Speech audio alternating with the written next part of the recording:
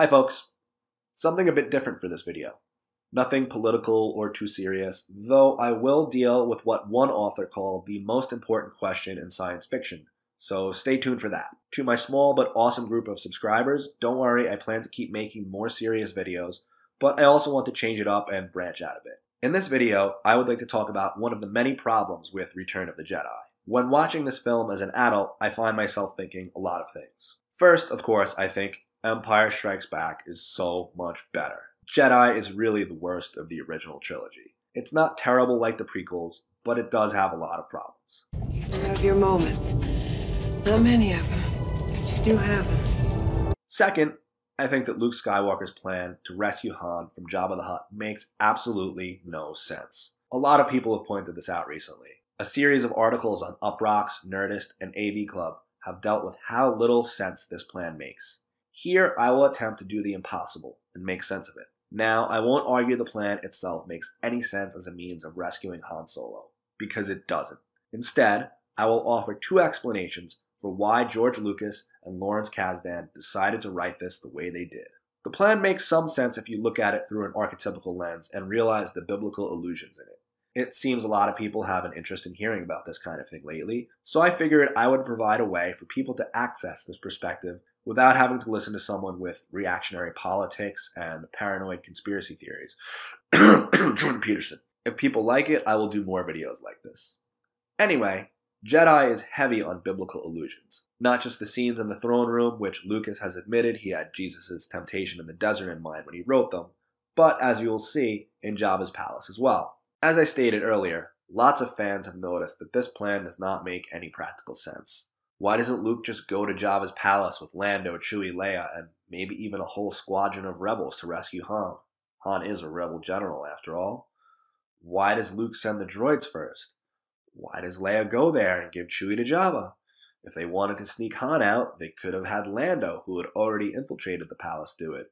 How are they planning on freeing Chewie with a blind Han in tow?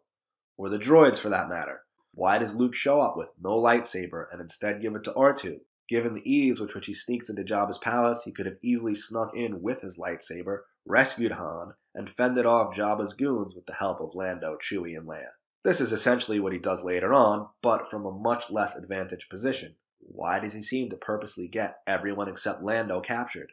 Does he just want the theatrics of escaping his own execution? I could probably go on, and knowing Star Wars fans, I'm sure people will point out some more problems I missed in the comments. But I think you get the point it made no sense for Luke to get everyone captured. One way to make sense of this plan is in comparison to one of the parables in the Gospel. In the three synoptic Gospels, the Gospels of Matthew, Mark, and Luke, which for the most part consist of different versions of the same stories, we see the parable of the tenants. I will paraphrase here. The landlord of a vineyard sends some of his servants to collect the fruit from his tenants, which serves as their rent. These tenants kill one servant, beat another, and stone the third. So the landlord sends more servants to collect the rent, and the tenants treat them the same way. Finally, the landlord sends his son, thinking they will respect him. However, the tenants, thinking they will inherit the vineyard if the landlord has no heir, decide to kill the son. Jesus points out that when the landlord himself eventually shows up, he will kill the tenants and give the land to the others. We see an incredibly similar pattern in Return of the Jedi.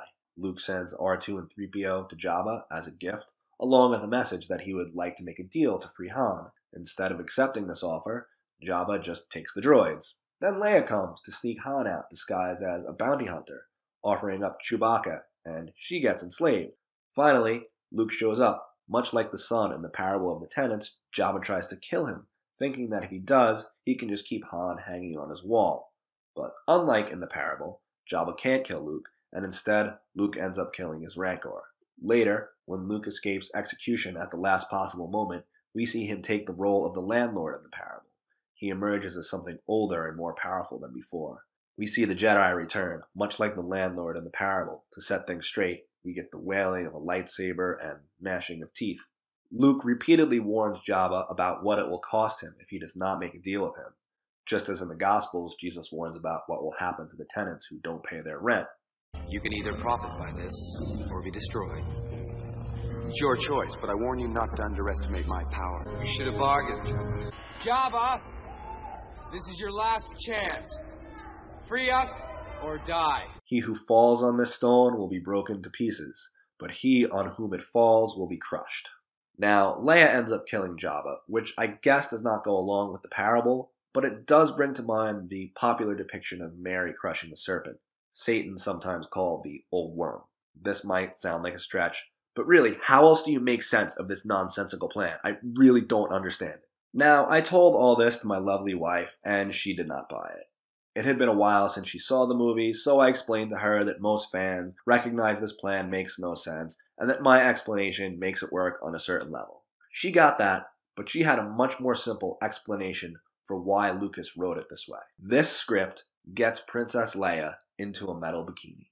At first, I kind of fought this one, because I had come up with such a thoroughly constructed, archetypical explanation that jived well with the theme of the movie Return of the Jedi, return of the landlord to bring justice to the tenants who have ignored his repeated requests for what they owe him. But it only took a few moments for me to come around on this idea. It makes a lot of sense, provides a much more elegant and straightforward explanation, and, as I hinted at the beginning of this video, it actually gets to one of the biggest questions in science fiction. Sci-fi writer L. Sprague de Camp once said, quote, There has been a great deal of talk about the big questions of science fiction, the truly big question of science fiction is what is that woman in a brass brassiere doing on the cover of my book? Unquote. Anyone familiar with the covers of old pulp sci fi novels will recognize this trope. Many of them had scantily clad women decorating them. Why? To answer de Camp's question, well, look at the target audience of science fiction back then. It consisted mostly of adolescent boys, so having women in metal brassieres on the cover definitely plays to that demographic. The sci fi audience has widened since then, but adolescent and adolescent minded males still make up a huge part of it. So that might explain why Lucas went with this plot. Getting everyone captured gives an excuse to put Leia in a metal bikini. We know that in the original Star Wars, Lucas would not let Carrie Fisher wear a bra. He claimed there was no underwear in space, at least not in a galaxy far, far away. Though I guess they do have bikinis.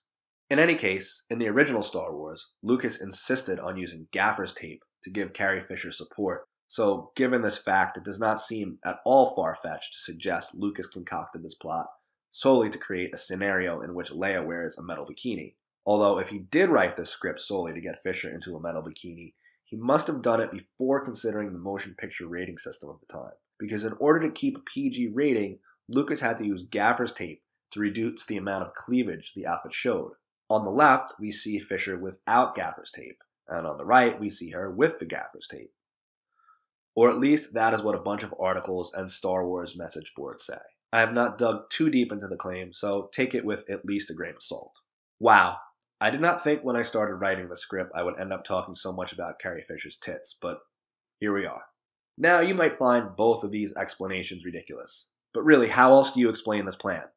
Do these explanations sound any more ridiculous than a plan to rescue someone that requires three more of your heroes to get captured first when you could have more easily pulled off the rescue without doing this?